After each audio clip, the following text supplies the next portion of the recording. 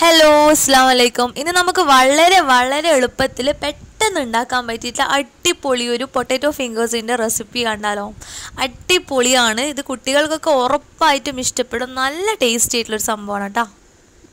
അപ്പോൾ ഇത് എങ്ങനെയാണ് ഉണ്ടാക്കുന്നതെന്ന് നോക്കാം. അതിന് മുമ്പായി നിങ്ങൾ ആദ്യമായിട്ട് എന്റെ ചാനൽ കാണുന്നുണ്ടെങ്കിൽ പ്ലീസ് ഒന്ന് സബ്സ്ക്രൈബ് ചെയ്യണേ.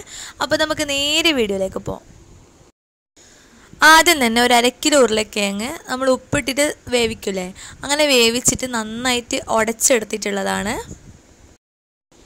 ഇനി ഈ വേവിച്ചിട്ട് ഉടച്ചെടുത്ത ഈ ഒരു പൊട്ടാറ്റോയിലേക്ക് നമുക്ക് ഒരു ടീസ്പൂൺ ചാറ്റ് മസാല ഇട്ട് കൊടുക്കാം.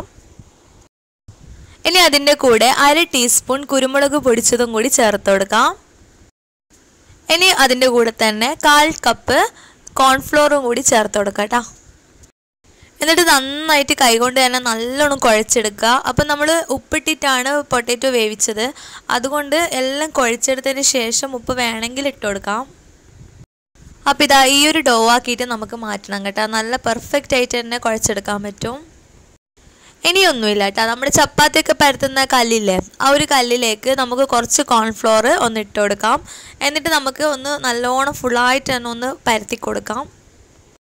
അപ്പോൾ ഇതുപോലെ നമ്മൾ പരത്തിയതിന് ശേഷം ഇതിന്റെ ചുറ്റും നമുക്കൊന്ന് കട്ട് ചെയ്ത് കൊടുക്കാം ഒരു സ്ക്വയർ ഷേപ്പിൽ എന്നിട്ട് അതിന്റെ മേലിലും കുറച്ചും കൂടി ഒന്ന് കോൺഫ്ലോർ ഇട്ട് കൊടുക്കാം. എന്നിട്ട് ഇതുപോലെ ഒന്ന് സ്പ്രെഡ് ചെയ്ത് കൊടുക്കാം. ഇനി നമുക്ക് ഓരോ ഫിംഗേഴ്സായിട്ട് കട്ട് ചെയ്തെടുക്കാം കേട്ടോ ഈ ഒരു രീതിയിൽ അപ്പോൾ കട്ട് ചെയ്തെടുത്ത ഫിംഗേഴ്സ് എല്ലാം നമ്മളൊരു പ്ലേറ്റിൽ കുറച്ച് കോൺഫ്ലോർ വിതറിയത് അതിലേക്ക് ഇട്ട് കൊടുക്കണം. അപ്പോൾ ഇതാ എനിക്ക് ഇത്രയും ഫിംഗേഴ്സ് കിട്ടിയിട്ടുണ്ട്. ഇനി നമുക്ക് നല്ല ചൂടായ എണ്ണയിലിട്ട് ഇത് പൊരിച്ചെടുക്കാം.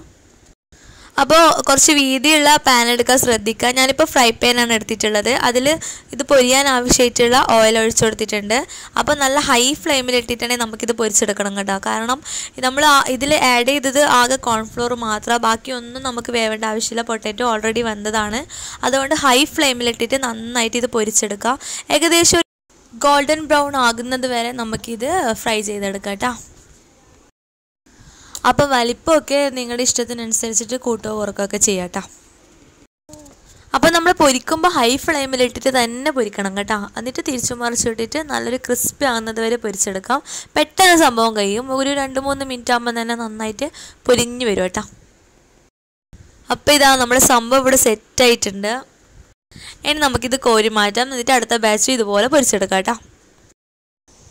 അപ്പോൾ ഇതാ നല്ല സൂപ്പർ സൂപ്പർ ടേസ്റ്റ് ആയിട്ടുള്ള അടിപൊളി ക്രിസ്പി പൊട്ടാറ്റോ ഫിംഗേഴ്സ് ഇവിടെ റെഡി ആയിട്ടുണ്ട്. നല്ല ക്രിസ്പിയാണ് നമ്മൾ ഓരോ ബൈറ്റിലും നല്ല ടേസ്റ്റാണ് ഇനി ഇവനെ കുറച്ചും കൂടി ഒന്ന് മൊഞ്ചായി കൊടുക്കാം. നമുക്ക് ഇതിന് ചുറ്റും കുറച്ച് മയോണീസും അതുപോലെ ടൊമാറ്റോ കെച്ചപ്പും കൂടി ഒന്ന് സ്ക്യൂസ് ചെയ്ത് കൊടുക്കാം. അപ്പോൾ ഇത് അടിപൊളിയായിട്ടുള്ള സംഭവം ഇവിടെ സെറ്റായിട്ടുണ്ട് നിങ്ങൾ ഇത് ഉണ്ടാക്കിയിട്ടില്ലെങ്കിൽ നിങ്ങൾക്കിത് നഷ്ടമാണെന്ന് ഞാൻ പറയൂ. കാരണം അത്രയും ടേസ്റ്റിയാണ് അപ്പോൾ ഫ്രണ്ട്സ് വീഡിയോ ഇഷ്ടമായിട്ടുണ്ടെങ്കിൽ ഒന്ന് ലൈക്ക് ചെയ്യുക ഷെയർ ചെയ്യുക കമന്റ് ചെയ്യുക നമ്മുടെ ചാനൽ ഒന്ന് സബ്സ്ക്രൈബും കൂടി ചെയ്യുക.